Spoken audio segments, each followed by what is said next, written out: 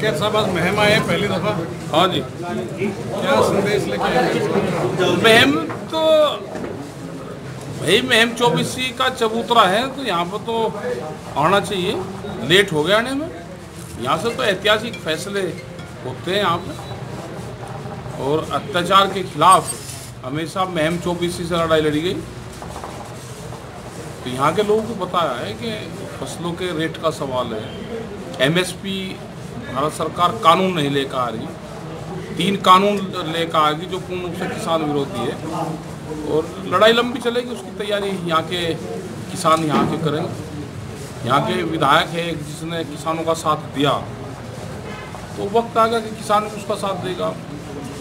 है सब पर जब भी मामला होता है कोई भी आवाज़ उठाता है उसके खिलाफ मुकदमे दर्ज हाँ मुकदमे दर्ज आपके खिलाफ भी बहुत सारे मुकदमे दर्ज हाँ हो गए। जा मुकदमे तो भाई हुए अभी आप बंगाल हो गए हैं बंगाल में क्या स्थिति थी? उनको भी पता गया कि जो एक मुट्ठी चावल मांग रहे तो इनसे एमएसपी मांग लो। ये तो जब तक लोग क्वेश्चन नहीं करेंगे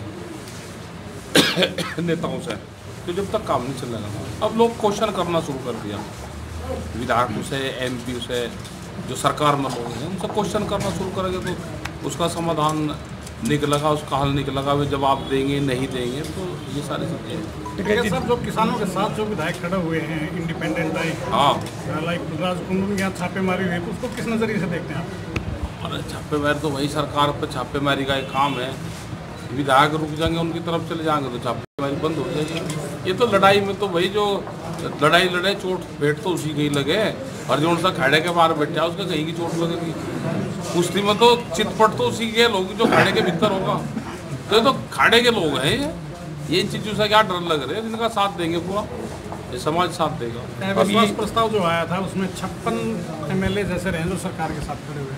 अरे हो जा भाई डर भय में सब हो जाकर जिस तरह की बयानबाजी अभी राज्यसभा सांसद रामचंद्र चांगड़ा ने की है, शराबी बताया, उनको घर से फालतू बता रहे थे उनको। अरे, बीमारी है इनकी, खामों का इन तो बगल रहे गए वो कह रहे कि कुत्ते से ऐबदार आदमी से नौ हाथ दूरी पर चले जाओ कुत्ते तो तीन हाथ दूरी पर चले जाओ जब उसके बराबर में जाएँगे तो का तो पागल आदमी तो, तो बगल को जाना चाहिए कहले तो जो कह रहा है। इसी के ढाल का तो एक आध एम पहले भी हुआ अब इसे भी सिक्योरिटी से आ रही अब ये मेरी गैल छेड़खानी नहीं कर रहा मुझे भी पुलिस पर उल्लेख जा ये नेता बनना चाह रहा हूँ कोई जानता नहीं अब वैसे इन्होंने छेड़खानी करी वो नेता बना तो बीमारी तो बगल को रह या सरकार के रवैये को देख के लग रहा है। कि आपने दोबारा बैरिकेड तोड़ के संसद में घुसना पड़ेगा जिस दिन संयुक्त मोर्चा कह देगा वो तो फ़सल बेचेंगे, तोड़ने का घुसने की ज़रूरत नहीं। प्रधानमंत्री ने कहा है कि अपनी फ़सल मंडी के बाहर कहीं बेच लो।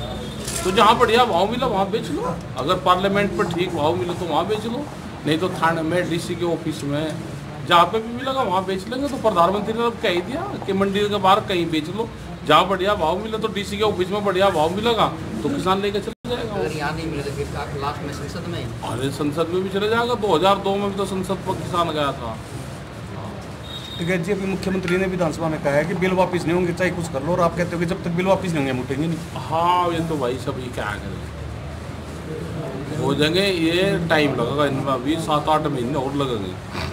जैसे छापेमारी चल रही है, आपके समर्थक जो किसान आंदोलन का समर्थन कर रहे हैं। चाहे कोई फ़िल्म अभिनेता हो या विधायक हो और कैसे हुआ तो उसमें क्या करेगा किसान मोर्चा? और किसान मोर्चा उनके साथ में है भाई। लड़ाई में लड़ाई लड़ाई के सारे इकट्ठे हो लो ये तो दो तीन महीने में और जनता आ जाएगी, सड़कों पर आ जाएगी जनता। तो ये जितने भी बैंक वाले बिक गए, रेलवे बिक गई, एयरपोर्ट बिक लिए तो सब इकट्ठे होगी जनता। और ये लुटेरा भागेगा यहाँ से। ये बीजेपी को भी टपोगा का बीजेपी वाले जो कह रहे हैं। हमने तो इन्हें कहा था हम अपनी पार्टी बचाओ पहले। अरे पार्टी गई। किसान मोर्चा से कोई चेतावनी वो नहीं बहेगा कि आगे घुसे तो चेतावनी तो दे रहे ना बता दो ना गोला दे लो जो ये मिला कौन कौन विभाग वाला मिला था? हमने पकड़ लो। हाँ।